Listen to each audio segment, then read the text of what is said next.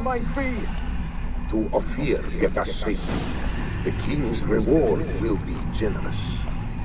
What about the prisoner? Before the king, we must bring him. On doing so, my honor relies. Can't we just bring your king the bastard's head? Like we do with the other?